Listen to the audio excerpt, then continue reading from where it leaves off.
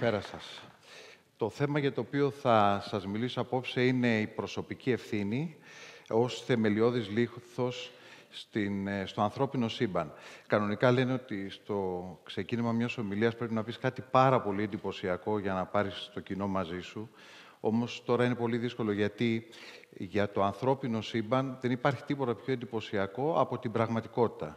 Και αυτό γιατί το περιεχόμενό του πηγαίνει πίσω στη δημιουργία του ίδιου του σύμπαντος. Θα σας πω τι εννοώ. Πριν από 13,8 δισεκατομμύρια χρόνια έγινε το περιβόητο Big Bang. Τότε λοιπόν στα πρώτα περίπου τρία λεπτά δημιουργήθηκε μία για πάντα όλο το υδρογόνο του σύμπαντος. Τότε, στα πρώτα περίπου τρία λεπτά. Ο άνθρωπος τώρα περιέχει περίπου 7.000 τρισεκατομμύρια τρισεκατομμυρίων άτομα. 7.000 τρισεκατομμύρια τρισεκατομμυρίων άτομα. Από αυτό το ασύλληπτο νούμερο, το 62% είναι υδρογόνο. Από εκείνο το υδρογόνο. Άρα, ο άνθρωπος καταρχήν και καταρχάς περιέχει ενδυνάμει μία ισχύ για να μπορεί να μπει στη μέση φοβερών γεγονότων, σημαντικών γεγονότων, αρκεί να το θέλει ο ίδιος. Άλλωστε, το σύμπαν ε, και η ανθρωπότητα είναι ατομιστική και περιέχεται μέσα σε κάθε Homo sapiens από τότε. Θέλω να πω όμως το εξής. Θα έχετε παρατηρήσει ότι οι άνθρωποι κάνουμε το εξής. Περιμένουμε πρώτα κάποιους να πάρουν την ευθύνη, να βγουν μπροστά, να κάνουν κάτι και μετά να μπούμε και εμείς μαζί τους και να τους ακολουθήσουμε. Βέβαια, η ανθρωπότητα προχώρησε μόνο μέσα από αυτούς που πήραν το ρίσκο. Η ανθρωπότητα προχώρησε μέσα από αυτούς που μπήκαν μπροστά, που δεν φοβήθηκαν, που πήραν το ρίσκο τους και έκαναν αυτά που ήταν να κάνουν. Γι' αυτό θα έχετε παρατηρήσει εδώ και αιώνες ότι η μοίρα ε, ακολουθεί και σέρνεται πίσω από συγκεκριμένα πρόσωπα. Ακολουθεί και σέρνεται πίσω από πρόσωπα τα οποία ήταν αδίστακτα, δεν φοβήθηκαν, πίσω από τον Ηράκλειτο, το Θαλή, τον ε, Μέγα Αλέξανδρο, την Ιπατία, πίσω από ε, τον Ναπολέοντα, πίσω από τον Μότσαρτ, πίσω από τον Αϊνστάιν και από χιλιάδες άλλους μπορεί να σκεφτεί κάποιος. Αυτούς, σκέφτηκα αυτούς τώρα. Ε, για τον Αϊνστάιν θέλω να πω το εξής. Το 1942 ήταν ε, καθηγητής στο Πρίνστον και δίνει στους ε, τελειόφοιτους φοιτητές του ε, ένα διαγώνισμα. Με το που τελειώνει, βγαίνουν έξω και του λέει ο βοηθός του, κύριε καθηγητά, αυτό το διαγώνισμα που δώσατε είναι ακριβώς το ίδιο που τους είχατε δώσει και πέρυσι. Λέει ο Αϊνστάιν, βεβαίως. Λέει, δώσατε δύο συνεχόμενες χρονιές τις ίδιες ερωτήσεις στους ίδιους ανθρώπους και του λέει ο Αϊνστάιν, έχουν αλλάξει οι απαντήσεις. Ακριβώς εδώ είναι, νομίζω, μία από τις ουσίες της προσωπικής ευθύνης. Η προσωπική ευθύνη του κάθε ανθρώπου είναι με ανοιχτό μυαλό και με μεγάλο θάρρος, όσο θάρρος χρειάζεται, ή να βρίσκει τις καινούργιες απαντήσεις στα παλιά ερωτήματα ή προφανώς να βρίσκει ερωτή, τις απαντήσεις στα ερωτήματα τα οποία τίθενται. Βέβαια, οι απαντήσεις δεν αλλάζουν μόνο χρόνο με χρόνο, καμιά φορά αλλάζουν και ώρα με ώρα. Και σκεφτόμουν ότι ο πιο έτσι, λαμπερός τρόπος για να φωτίσεις κάποιος ένα τέτοιο πλατή και βαθύ θέμα μέσα σε λίγα λεπτά είναι τα παραδείγματα. Να, οι ιστορικοί ε, αρέσκονται πολύ συχνά να μιλάνε για τα μεγάλα αν. Φαντάζομαι θα τα έχετε ακούσει, τα great ifs. Ένα από τα μεγάλα αν της ανθρωπότητας, των τελευταίων σίγουρα πολλών αιώνων, είναι τι θα γινόταν αν ο Ναπολέον είχε κερδίσει το Βατερλό. Ο Ναπολέον, λοιπόν, εκείνο τον Ιούνιο του 1815 έχει σχεδιάσει πάρα πολύ καλά το πώς θα κερδίσει το Βατερλό. Όμως σε αυτό τον ευφυή σχεδιασμό έχει βάλει μέσα έναν στρατιωτικό, τον στρατηγό Γκρουσί. Ο στρατηγός Γκρουσί είναι ένας στρατιωτικός καριέρας, ο οποίος είναι πάρα πολύ έντιμος, πάρα πολύ υπάκους και κάνει μόνο αυτό που του λένε. Αυτή τη φορά όμως έχει μια ιδιαίτερη ε, έτσι, οδηγία, εντολή, διαταγή από τον Απολέοντα να βρίσκεται κάπου περίπου δύο με τρεις ώρες μακριά από το, τη μάχη, εκεί που θα γινόταν η μάχη του Βατερλό και έχει δύο, δύο εντολές. Η μία είναι να αποκόψει τους πρόσους στην περίπτωση που εμφανιστούν και η δεύτερη να είναι διαρκώς σε μία επαφή με τον Απολέοντα, με το, με το πεδίο της μάχης, γιατί του έχει πει αυτός που θα πάρει πρώτος ενισχύσεις θα κερδίσει, ο Ναπολέον και ο Βέλιγκτον. Το πρωί της 18ης Ιουνίου, που ήταν Κυριακή η μέρα του Βατερλό, ε, επειδή βρίσκει ένα παράθυρο στην κακοκαιρία ο Ναπολέον, ξεκινάει την επίθεση και ακούν από εκεί που βρίσκονται ο Γκρουσί και οι, οι επιτελείς του, ακούν τα κανόνια που έχουν ξεκινήσει. Πάνε οι επιτελείς του με πρώτον τον Ζεράρο, ο οποίος ήταν υπασπιστής του, και του λένε πρέπει να πάμε στο πεδίο της μάχης. Κάτι έγινε, ξεκίνησε η μάχη. Ο Γκρουσί λέει: Όχι, δεν έχω τέτοια εντολή. Είμαστε εδώ για να δούμε αν θα έρθουν οι πρόσφυγε, θα μας ειδοποιήσει ο αυτοκράτορας. Όσο αυξανόταν η μάχη, έφτασε στο σημείο ο Ζεράρο, υπασπιστή του, να τον ε, εκλυπαρεί και να του πει τουλάχιστον να αφήστε εμένα να πάω με την, με τη μεραρχία τη δική μου και σας δίνω το λόγο της τιμής μου, θα επιστρέψω αν δεν χρειάζομαι. Στέκεται για μια στιγμή, μια μεγάλη στιγμή για την ανθρωπότητα ο Γκρουσί, στέκεται μεταξύ προσωπικής ευθύνης και φόβου της προσωπικής ευθύνης και λέει όχι δεν θα το κάνουμε. Οι πρόσοι έχουν πάει από άλλη πλευρά, το Βατερλό χάνεται, υπάρχει μια εκπληκτική περιγραφή του Στέφαν Τσβάιχ, ο οποίος λέει ότι εκείνη τη στιγμή ο Γκρουσί δεν καταλάβαινε ότι αυτά που άκουγε δεν ήταν τα κανόνια, ήταν τα σιδερένια ζάρια της μοίρας που τον καλούσαν. Όμως, επειδή μιλάμε για τα αν, ε, τα αν τα καταλαβαίνουμε συνήθως μέσα, μίλησα πριν για τα αν, το θέμα δεν είναι τα αν, τα καταλαβαίνουμε συνήθως μέσα από τα αρνητικά και ένα αν είναι τι θα γινόταν αν ο Χίτλερ είχε γίνει δεκτός σχολή καλών τεχνών της Βιέννης. Θα είχαμε, φαντάζομαι, γλιτώσει πολλά. Γιατί το λέω όμως αυτό. Ε, το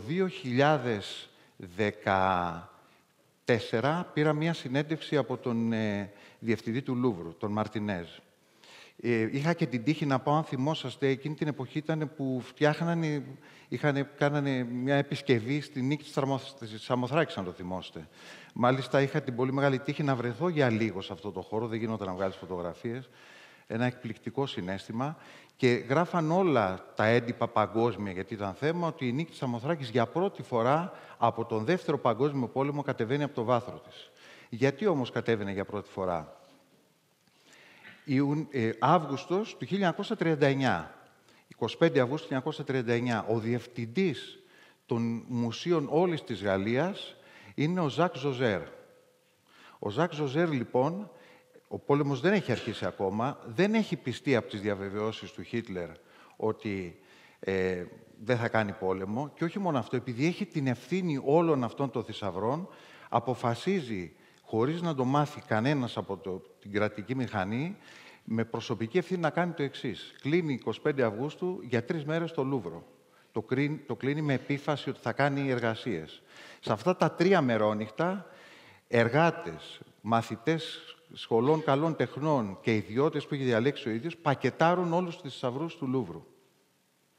Μάλιστα τους βάζουν σε άσπρα κουτιά, τους βάζουν και με σημάνσεις, δηλαδή τα έργα τα σημαντικά έναν κίτρινο κύκλο, τα έργα τα αριστουργήματα ένα πράσινο κύκλο και αυτά που ήταν παγκόσμιας, παγκόσμια ενδιαφέροντος τους βάζει έναν κόκκινο κύκλο. Ε, για την ιστορία η Μόνα Λίζα μπήκε σε ένα κουτί με τρεις κόκκινους κύκλους. Στις 11 Ιουνίου έχει ξεκινήσει βέβαια ο πόλεμος και είναι να μπει ο Χίτλερ στη, να μπει στο Παρίσι. Οπότε ο Ζακ Ζωζέρ έχει κάνει το εξής μόνος του οργανώνει όλο, πώς θα φυγαδεύσει όλους αυτούς τους θησαυρούς. Και όχι μόνο αυτούς, και βιτρό από τις εκκλησίες, τους βάζει λοιπόν σε φορτηγά, σε ασθενοφόρα, ταξί χρησιμοποιούνται, γιοταχή και όλοι κατευθύνονται προς τα κάτω νότια, εκεί που θα ήταν ασφαλές, κάτω από το Λίγυρα. Ε, σκεφτείτε, η Νίκη της Ταμοθράκης, η Αφροδίτη της Μήλου, τα έργα του, του, του Μιχάηλ Άγγελου, η σχεδία της Μέδουσας, ε, Καραβάτζο, όλοι αυτοί οι θησαυροί. 15 Ιουνίου περνάει το τελευταίο φορτηγό το Λίγυρα, 18 Ιουνίου ο Χίτλερ μπαίνει στο Παρίσι. Μέσα από προσωπική ευθύνη λοιπόν ενός ανθρώπου σώθηκε στην ουσία η μνήμη της ανθρωπότητας. Γιατί και εδώ ισχύει αυτό που είχαν πει για την βιβλιοθήκη της Αλεξάνδρειας στο Νακάικη, ότι ήταν σαν να κάει και η μνήμη της ανθρωπότητας. Όταν σώζει τέτοιους θησαυρούς, την, ε, τη μνήμη της ανθρωπότητας σώζεις.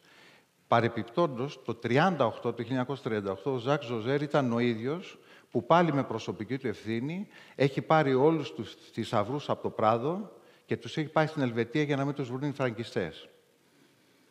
Και μια άλλη παρέθεση που να είναι ενδιαφέρουσα, οι Γάλλοι και οι Άγγλοι στο Δεύτερο Παγκόσμιο Πόλεμο, επειδή και οι Άγγλοι φυγάδευσαν τα δικά τους, έκρυψαν τα δικά τους, ε, του Βρετανικού Μουσείου, είχαν ανταλλάξει χάρτες, οπότε σε περίπτωση που βομβάρδιζαν οι μεν τους δεν να μην βομβαρδίσουν τα σημεία που είχαν κρυμμένα, κρυμμένους στις αυρούς, αποθήκες, πύργοι κτλ. Όταν έμαθα το θέμα που ήταν να, να μιλήσω, πήρα τηλέφωνο την κυρία Μαρία Ευθυμίου, την ιστορικό, αν φαντάζομαι τη γνωρίζετε πολύ από εσάς, και της λέω: Ξέρετε, θα μιλήσω για την προσωπική ευθύνη. Α, μου λέει, θα πεις για τον προστατισμό δηλαδή. Λέω: Ναι, τον προτεσταντισμό προφανώς. Και έχει απόλυτο δίκιο σε αυτό. Γιατί ε, δεν υπάρχει μεγαλύτερο παράδειγμα επιδραστικότητας τα τελευταία 500 χρόνια, ο κόσμος όπως είμαστε τώρα, έχει να κάνει με αυτό τον μοναχό, ο οποίος μπήκε μπροστά, ο οποίος πήγε ενάντια στον Πάπα σε καιρούς μαύρους, το 1517, μεσαίωνας, και ο οποίος θυροκόλλησε εκείνες τις 95 θέσεις του. Γιατί σε αυτές τις θέσεις, στην ουσία, τι έλεγε; Έλεγε ότι θέλουμε λιγότερο έλεγχο του κράτους και περισσότερη ευθύνη των ανθρώπων. Πάνω σε αυτόν, λοιπόν, τον μοναχό στήθηκαν όλα τα υπόλοιπα τα τελευταία 500 χρόνια. Ο κόσμος που ζούμε κατά βάση είναι προτεσταντικός. Ε, οι επαναστάσεις που έγιναν, η πρώτη βιομηχανική, η δεύτερη βιομηχανική, η τρίτη και η τέταρτη που βιώνουμε τώρα, είναι προτεσταντικές. Σκεφτείτε ότι θεωρείται η μεγαλύτερη επανάσταση από πολλούς ιστορικούς, θεωρείται η μεγαλύτερη επανάσταση μετά την Αγροτική Επανάσταση. Και βέβαια, ε, να πω ότι ε, η τρίτη και η τέταρτη βιομηχανική επανάσταση μας έχουν βάλει σε ενός είδους καινούργιες ευθύνες. Ε, μας έχουν βάλει σε ευθύνες απέναντι τις προσωπικές ευθύνες, απέναντι στο διαδίκτυο και απέναντι στην κλιματική αλλαγή. Και εδώ να πω μόνο λίγο για το διαδίκτυο ότι είναι μεγάλο λάθος να νομίζουμε ότι δεν έχουμε προσωπική ευθύνη όσοι χειριζόμαστε διαδίκτυο, το διαδίκτυο. Να νομίζουμε δηλαδή ότι η ευθύνη είναι του Ζούγκερμπερ που έχει το Facebook. Δεν ισχύει. Δεν είμαστε άμυροι ευθυνών. Έχουμε και εμείς τις προσωπικές μας ευθύνες, τι επιλέγουμε, πώς το επιλέγουμε, πώς το χρησιμοποιούμε. Βέβαια, μπορεί κάποιος να πει τώρα, εγώ δεν είμαι ούτε Αϊνστάιν, ε, δεν είμαι ούτε Δημήτρης Νανόπουλος, ούτε Κωνσταντίνος Δασκαλάκης, δεν είμαι ούτε Σταμάτης Κρυμιζής. Ε, όμως αυτούς μπορώ να τους θαυμάζω, να τους παρακολουθώ, τους αποδέχομαι. Το θέμα δεν είναι εκεί. Το θέμα δεν είναι κάποιος να βλέπει αυτούς που πρέπει να θαυμάζει και να τους αποδέχεται. Δεν πρέπει δηλαδή να τον καθυλώνει ο θαυμασμός. Ο θαυμασμός πρέπει να είναι ένα έναυσμα ώστε να πάει μπροστά. Μόνο έτσι έχει νόημα ο θαυμασμός. Να είναι ένα έναυσμα για να πάει μπροστά. Μπορεί επίσης να πω ότι τον Απολέοντα, τώρα που το σκέφτομαι, κάποια στιγμή για να τον θίξει κάποιος σε, μια, σε έναν χορό στο Παρίσι, του λέει εσείς από ποια γενιά είστε; Και λέω Απολέοντας, εγώ είμαι ο πρώτος γενιάς μου. Που σημαίνει για τα νέα παιδιά να γίνετε η πρώτη της γενιάς σας. Δεν είναι απαραίτητο να είστε από μια γενιά, καθόλου απαραίτητο. Επίσης, μπορεί κάποιος να πει ότι, ξέρετε κάτι, εγώ έχω προβλήματα βιοποριστικά, βιοπορισμού, σωματικά, μπορεί να πει οτιδήποτε. Το 2010 είχα την μεγάλη τύχη να πάρω μια συνέντευξη από τον Στίβεν Χόκινγκ. Κάποια στιγμή, λοιπόν, η ερώτηση που του έκανα ήταν τι απαξιώνει περισσότερο στην ανθρώπινη φύση, στον άνθρωπο. Θέλω να τη δείτε γραμμένη και θα σας εξηγήσω και το γιατί. Η αυτολύπηση ήταν η απάντησή του. Δεν έχω τίποτα θετικό να πω για την αρρώστια μου, όμως με έμαθε το πιο σημαντικό. Να μην νικτήρω τον εαυτό μου και να συνεχίσω με ό,τι ήμουν ικανός να κάνω. Άλλοι είναι χειρότερα από μένα, είμαι πιο ευτυχής τώρα από όταν πρωτού αρρωστήσω. Σας το δείχνω γιατί όταν μου ήρθε το mail, κάθε απάντησή του είχε μπροστά αυτό το SW Hawking Answer. Ήταν ίσως η πιο συγκινητική στιγμή. Εδώ λοιπόν έχουμε έναν άνθρωπο ο οποίος πήρε τον εαυτό του με προσωπική ευθύνη και τον έκανε στην ουσία υγιή. Και τον έκανε κατά βάθος υγιή. Ε, έκανε αυτό που πρέπει να κάνουν οι άνθρωποι, να έχουν σαν μέτρο των δυνατοτήτων τους, το τι θα κάνουν στη ζωή, το μέτρο των, των δικών τους δυνατοτήτων. Μπορεί επίσης ε, ε, κάποιος άλλος να πει οτιδήποτε. Ε, όμως θέλω να πω ότι όλοι αυτοί οι άνθρωποι αν παρατηρήσετε, όλοι αυτοί για τους οποίους μιλάμε τόση ώρα, έχουν και ένα άλλο κοινό χαρακτηριστικό. δεν χάνουν χρόνο. Δεν, είναι, δεν κάνουν χρονοκτονία δηλαδή, δεν είναι δολοφόνοι του χρόνου τους. Με εξαίρεση τον Κρουσί που είδαμε τα αποτελέσματα. Ε, δεν χάνουν χρόνο. Εμείς αυτή τη στιγμή ως κοινωνία, ως ανθρωπότητα, έχουμε ένα πρόβλημα για το οποίο, από ό,τι μας λένε οι επιστήμονες και από ό,τι αντιλαμβανόμαστε, δεν μπορούμε να χάσουμε χρόνο. Είναι αυτό της κλιματικής κατάρρευσης. Το λέω κλιματική κατάρρευση γιατί, όπως μου είπε ένας καθηγητής του, από το Χάρβαρτ, μου λέει, τον, αν το πεις κλιματική αλλαγή, είναι σαν κάποιος να επιτεθεί στη χώρα σου και αντί να τον πεις εισβολέα, να τον πεις ανεπιθύμητο επισκέπτη. Δεν περιγράφει το πρόβλημα η κλιματική αλλαγή. Το 2017, το 2017 πήρα μια συνέντευξη από τον Χαράρη. Του έκανα μια ερώτηση που δεν είχε να κάνει με την κλιματική αλλαγή, αλλά για την ομιλία σκέφτηκα ότι θα σας ενδιαφέρει πολύ. Δείτε τι ακριβώς μου απάντησε ο Χαράρη σε μια ερώτηση που λέγα. Ποιο νομίζετε ότι υπήρξε το πιο αρνητικό πολιτικό σύστημα; Και λέει, στον 20ο αιώνα τα χειρότερα εγκλήματα έγιναν από κομμουνιστές και φασίστες. Ωστόσο, αν ο καπιταλισμός προκαλέσει οικολογική, οικολογική κατάρρευση, θα είναι πλέον το χειρότερο σύστημα. Αν ο, ο καπιταλισμός προκαλέσει οικολογική κατάρρευση, αυτό είναι το 17, θα είναι πλέον το χειρότερο σύστημα. Αυτό είναι σωστό. Και μου είπε και κάτι άλλο σε μια άλλη ερώτηση, το οποίο έχει ενδιαφέρον, νομίζω να το δούμε. Αν η, η, ηθική είναι, η αληθινή είναι περισσότερο αναγκαία σήμερα. Και λέει ναι, γιατί είμαστε πιο ισχυροί από ποτέ και χρειάζεται να είμαστε πιο ηθικοί από ποτέ με σοφές επιλογές. Δέκα χιλιάδες χρόνια πίσω μπορούσαμε να προκαλέσουμε σχετικά μικρή ζημιά στο οικολογικό σύστημα. Σήμερα, αν κάνουμε κακές επιλογές, μπορούμε να καταστρέψουμε την ανθρωπότητα. Ακριβώς αυτό είναι. Και θέλω να πω ότι γι' αυτό έχουμε 8 δισεκατομμύρια ατομικές ευθύνες. Κάποιος μπορεί να σκεφτεί και να πει έχω εγώ την ίδια ευθύνη με το εργοστάσιο το οποίο ρηπαίνει. Όχι. Αλλά έχουμε τη μικρή μας ατομική ευθύνη κάθε φορά που δεν βλέπει κάποιος και κάνουμε αυτό που δεν πρέπει να κάνουμε. Έχουμε τη δική μας ατομική ευθύνη σε αυτό. Και στο κάτω-κάτω μπορούμε να κάνουμε αυτό που λέει ο Καμί. Ο Καμί λέει να είμαστε ενάρετοι, μπορείτε λέει να είστε και ενάρετοι απλά από ένα καπρίτσιο. Από ένα καπρίτσιο. Ας το κάνουμε έστω και έτσι. Κοιτάξτε, το, το μέλλον είναι πάντα, κατά τη γνώμη μου, ένας μεγάλος κομικός. Μας βλέπει δηλαδή και γελάει με μας που είμαστε εγκλωβισμένοι μεταξύ δικαιολογίας, μεταξύ άγνοιας, τρόμου, φόβου και όλων αυτών. Υπάρχει μια εκπληκτική, κατά την άποψή μου, σκηνή, όχι μόνο προφητική, είναι ιδιοφυής σκηνή, στην ταινία, όσοι δεν την έχετε δει από τα νέα παιδιά να τη δείτε, το «Ένας προφήτης, μα τι προφήτης», η οποία περιγράφει ακριβώς αυτό το πόσο ιδιοφυής, κομικός είναι το μέλλον για τους ανθρώπους. Είναι 30 δευτερόλεπτα. Για δείτε τι. Please, please, please listen. I've got one or two things to say.